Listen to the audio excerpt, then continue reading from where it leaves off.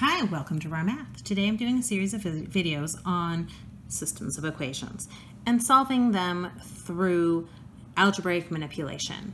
Okay, this particular problem I'm going to solve through elimination. The reason I'm going to do elimination is because the way it's set up, the x's are in line, the y's are in line, the equal signs are in line, as are the numbers. If I just put a line under here and add down, because the y coefficient, coefficient means number multiplied to variable, the numbers multiplied to y, the coefficients are equal, they're both 1 in value, but opposite, positive, negative in sign, meaning if I add down y minus y, the y's will eliminate, thus elimination. I get 2x equals 34, and when I divide by 2, I get that x is equal to 17. Okay, so now I need to figure out y. So 17 plus y equals 22. If we subtract 17 from both sides, we get that y is equal to 5. So now we have this answer, 17, 5, but I could have made a mistake. So let's check it. Check it with the second equation. Is 17 minus 5 really equal to 12? It is and I'm very secure in my answer. The beauty about systems is you can always check your work really easily.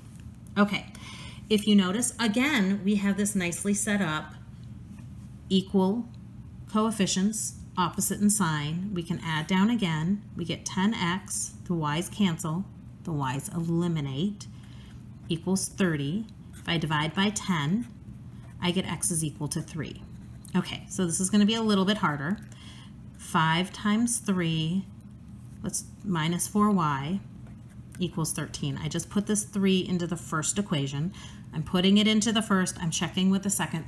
I pretty much will do that in all my videos so that if you want to pause and try it yourself, you can predict the way I'm going to solve this.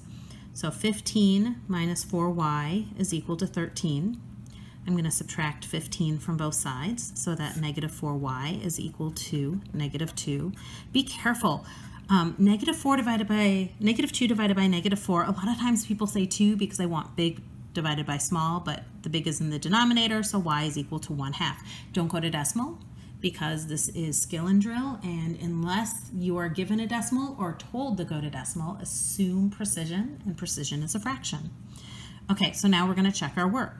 We have this answer, 3 comma 1 half. We want to find out if it's correct. We check it in the second equation. Is 5 times 3 plus 4 times 1 half really equal to 17? Is 15 plus 2 really equal to 17? It is, so now I'm secure in my answer. All right, I hope you've enjoyed this video. Please subscribe to my YouTube channel, like my Facebook page. See you on the next video. Thanks!